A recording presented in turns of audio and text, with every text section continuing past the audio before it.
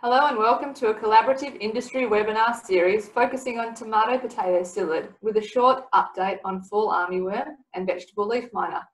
This series contains five separate 15 minute presentations delivered by industry specialists aimed at informing and upskilling producers and service industry providers on key research and topics associated with these pests. These pests can cause significant economic damage to a large range of horticultural crops, and their management is essential in ensuring sustainability of the industry. Please feel free to send through any questions that you may have to the email address supplied at the end of each presentation. Please sit back, relax, and enjoy the presentations. Maddy Quirk is a biosecurity officer with AusVeg and will provide information on the key findings of the vegetable leaf miner project and a quick fall armyworm update. Today I'll be talking about a little bit about fall armyworm um, and then giving a bit of an update on a Hort Innovation funded project that I'm working on um, for vegetable leaf miner. So fall armyworm um, is an invasive insect pest that feeds on a number of host plants, um, more than 350 recorded host crops. Um, it's native to the tropical and subtropical regions of the Americas and has since um, been found in Africa, uh, India, China, and Southeast Asia. However, in um, early 2020, it was first detected um, on, in the Torres Strait Islands um, and then made its way throughout Queensland, um, followed by detections in Northern Territory and in Western Australia, including Kununurra, Broome, and Carnarvon. Um, the government has deemed that it's not technically feasible to eradicate this pest from Australia. A little bit about the life cycle of a fall armyworm. There are four stages, egg, larva, pupa and adult. Um, I've got some images here on the left-hand side of the screen, um, but some distinctive features are that the eggs are laid in masses of about 100 to 200 on the underside of the leaf. Um, a larva um, is typically green to brown, but um, is not distinguished by its colour um, so much as by some of the other um, patterns that you can see on its body. So um, in particular, the inverted Y pattern on the head, but this is um, common to a lot of other armyworms. So um, you need to also look out for four dark raised spots on at the end of the abdomen, shaped in a square. in terms of the pupae, they uh, pupation occurs in the soil, but sometimes in um, the leaf litter. And adults are moths, and their wingspan ranges from 32 to 40 um, millimeters, um, and they can fly long distances and migrate quickly. So that um, really, unfortunately, assists with their um, easy spread. This YouTube link down the bottom here um, just links to a video of the life cycle of a fall armyworm on maize. It's quite an interesting depiction of how the life cycle works. In terms of the fall armyworm hosts, uh, as I mentioned, there are a number of host crops, but it does, um, well, it does attack maize, sweet corn, um, sorghum, rice and grass crops, as well as a number of vegetable crops um, listed here. Some of the symptoms that you could you will see on sweet corn and other vegetables include um, damage such as windowing, um, tattered leaf margins, skeletization, defoliation, and chewing. Um, you can also um, identify a fall armyworm um, from its frass or the waste that it leaves behind. And it's important to check deep into the plant stem um, for larvae as well. Uh, if you suspect fall armyworm, what do you do? Well, we know that early detection is critical um, for the effective control of fall armyworm in vegetable crops, as with other as with other um, pests such as tomato potato psyllid that we will talk, we've been talking about today. Um, regularly checking your crops is important, but also important uh, reporting to the exotic plant pest hotline. Um, in addition to that, a number of chemicals have been registered for fall armyworm and um, they're available from the APVMA. So if you need more information on pest management advice, um, please contact your relevant State Department of um, Primary Industries. Now moving on to um, a little bit on exotic leaf miners.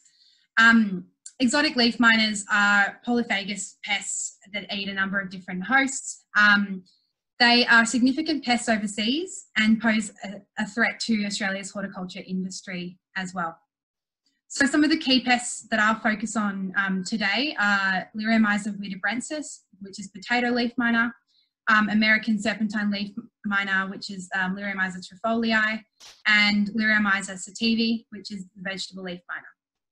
Um, potato leaf miner and American serpentine leaf miner are not present in Australia, but both are found in Indonesia. However, uh, vegetable leaf miner was found was detected in the Torres Strait Islands in 2008 and found made its way to the mainland um, in 2015 and is currently present in Seisia, which is at the very tip of uh, Cape York Peninsula. And we want to ensure that it doesn't spread to the rest of Australia. They're very small. You can see um, a picture of a vegetable leaf miner next to a five cent piece there, one to two millimeters in length. So in terms of the life cycle, um, it's very, it can be very short, as short as three weeks long. Um, it consists of an egg, larva, pupa, and adult stage. So in the larval stage, you can, I've actually put a little GIF here where you can see a larva inside um, a leaf between the top and bottom layer of the leaf. It's um, eating away at the plant material and you can see it's kind of hacking um, its mouth part there as well, so as it moves through the plant. Um, so this is the key characteristic damage that leaf miners um, create, which is those spiraling leaf mines. And you can also see it in that image on the right hand side there. But on top of that characteristic damage, there's also other damage which is known as stippling. So this is when the adult female feeds and lays her eggs. You can see that they're those little white dots um, within that right hand photo there. Um, exotic leaf miners, as I mentioned, they're polyphagous, so they feed on a number of different hosts, um, including a number of vegetables, so chili, capsicum, um, pumpkin, tomato, um, and the list goes on. But on top of that, they also feed on cut flowers and ornamental plants um, and many weed hosts. So up in the incursion front, um, they're seeing leaf miner feeding on, vegetable leaf miner feeding on the Siratro weed, which is really common in that region. So at the plant level, there are a number of impacts that can be seen, such as um, a disruption in photosynthesis caused by the leaf mining. And then the stippling, which I mentioned before, um, can actually cause secondary infection to the plant as well. Um, if excessive mining occurs, this can stunt the growth of the plant and cause fruit failure or fruit to drop um, or kill the plant entirely, particularly in young plants um, when they're just first um, in their first stages of growth. At the business level, a number of impacts can be seen as well as a result of leaf miners. Um, these include farm quarantine and um, a potential reduction in yield to the crop, but also loss of marketability, particularly to those plants that are sold with their uh, leaves intact. Overseas, pest management has been really costly um, as a result of resistance to a number of chemicals, so this could be a potential impact as well. Just in terms of some real world examples, Liriomyza trifolii, which is American serpentine leaf miner, cost um, the Californian greenhouse industry 21 uh, in the USA, um, $21 million per year when it first hit. Um, similarly, potato leaf miner caused a massive yield loss of 70% in potatoes when it first came into Indonesia. Um, but I guess first we really want to understand why such high yield losses are occurring overseas. So um, this is a great example here that explains that. Um, we're looking at two different um, bean plants here, and one of them has been significantly mined and the other one has not. You might think the one on the right um, doesn't have any chemicals being sprayed, but it's actually the plant that has a lot of the chemicals being sprayed. And the reason this is happening is because in its natural environment, the uh, vegetable leaf miner is held in check largely by parasitoid wasps, which are their beneficial insects that attack um, the leaf miner species. Um, if the chemicals are used and they're, um, they're knocking out the parasitoid wasps while also knocking out the adult leaf miners. But then of course, there are those uh, leaf miners that are still larvae inside the leaf and then they come out, pupate in the soil and then um, become adults and there are no beneficial insects um, the environment anymore due to the chemicals wiping them all out. So as a result of that, polyphagous leaf miners really are secondary pests where um, they're not really so much of a problem until something changes in the environment, such as a chemical being sprayed, um, causing a secondary outbreak. And we're seeing this uh, chemical mismanagement happening a lot of the time overseas um, in various examples, leading to uh, insecticide resistance as well. Um, so a little bit about the project that we're working on. It's a Hort Innovation funded project through the vegetable uh, nursery, melons and potato levies. It started in 2017 and is finishing up in November this year um, and is led by cesar with uh, partners partnering with University of Melbourne, Plant Health Australia, Northern Australia Quarantine Strategy and AusVeg. Um, we're also, we varied the project last year so that we could cover um, those other exotic leaf miners, which is why I've mentioned a little bit about all three so far. Um, so a few areas of the project I'd like to touch on. Um, the first is estimating risk of leaf miner in Western Australia.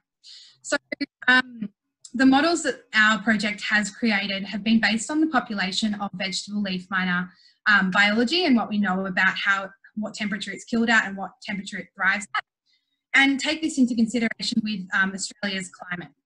So then this produced, we've produced a map of um, the risk of establishment of leaf miner in different regions across Australia. Um, zooming in on WA, you can see that this risk really varies depending on where you are.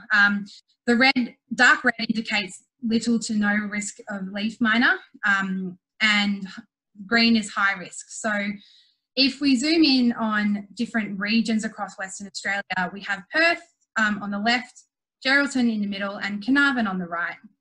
Um, and you can really see that there's some differences here. So um, if we're looking at the risk in Perth, we can see that the, the risk of leaf miner establishment um, is predicted to be quite low in the in that summer and winter period, but potentially could be moderate to high in um, the spring and autumn periods.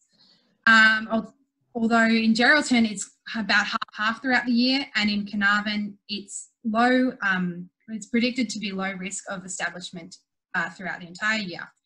Although keeping in mind, if we compare this to a region that's considered very high risk for vegetable leaf miner, which is Bundaberg in Queensland, we can see that there's some really dark green occurring in that um, summer period, whereas it's only moderate green in the, um, some of the examples from Western Australia. So therefore, the overall risk in these regions, I would say for Perth, um, the predictions are moderate, predictions in Geraldton are moderate as well, and then a low predicted risk of establishment in Carnarvon. You can explore this tool that we've developed. It's online um, in an interactive portal at this site here as well. Um, in addition to um, these models, we've actually developed some surveillance guidelines for vegetable leaf miner surveillance. So um, we've determined that visual surveillance is going to be more um, uh, less difficult uh, by detecting from the mined leaves rather than trying to detect the pest itself, just due to the small, um, how small the pest is and how hard it is to spot. Uh, of course, early reporting of unusual symptoms is critical. So looking for those leaf mines um, and taking a sample and putting it away, putting it in the fridge in a bag and calling the exotic plant pest hotline. Um, we've also developed some DNA tests that look at um, the DNA left over in an empty leaf uh, from the leaf miner. So this is allowing us to use the DNA left over in that leaf rather than having to find those pests themselves. And um, we're progressing with those tests um, at the moment. So as I mentioned, we've developed a surveillance guide and it's available from the AusVeg website. Um, that details more information on how to survey your, uh, your crops for leaf miners. Now, um, I also want to mention a little bit about one of the key findings from the project, which um, is biological control. So we've found that biological control is going to form an integral part of a, um, an integrated pest management program for leaf miner control. Um, in the incursion front, up in the Torres Strait and in Seisia, uh, our research has shown that there are more than six species that are already controlling those leaf miner levels up there. So unassisted field mortality rates of vegetable leaf miner have been shown to reach as high as 80% in the natural environment um, in those incursion fronts, which is incredibly high. And in addition to that, Australia also has um, more than 50 wasp species that could potentially control exotic leaf miners. So these not only include the species um, that we can, we've already found up in the incursion front, but also species that are well known um, for strong leaf miner management overseas. And some of those uh, examples are listed below. In addition, um, we do know that we that chemical control is also an option, but it should be part of an integrated approach. So utilising those biological control through parasitoid wasps that exist in Australia, um, and also just considering which pesticides we're spraying and when. So um, we need to minimise the disruption to parasitoid populations um, because of that example that I mentioned before, when they're wiped out, leaf miner becomes a secondary pest issue. So some of the effective insecticides are systemic and translaminar. Uh, we've, we've found that there's been resistance, as I've mentioned throughout this talk, to insecticides overseas, and some of those include the SPs, OPs, um, spinosad and abamectin. And in addition to that, um, Plant Health Australia has submitted a number of permits um, to the APVMA, and these are listed here. So in order to prepare industry for leaf miner. Um, you can find out more information on chemical and biological control at AusVeg's website as well, or by emailing um, me following this talk. And finally, to summarise, um, the, the, exotic leaf miners, um, they affect a number of crops from a variety of families and have the potential for high levels of damage um, if they are mismanaged. Uh, the vegetable leaf miner is currently found in Torres Strait and in Seisia on the Cape York Peninsula, but the other two leaf miners are not found in Australia. Exotic leaf miners are more likely to be detected by the damage rather than the pests themselves, so early detection of unusual symptoms is crucial. And parasitoid wasps will play a significant role in leaf miner control in Australia. So I'd just like to thank these groups here um, for the work that they've been doing as part of the project.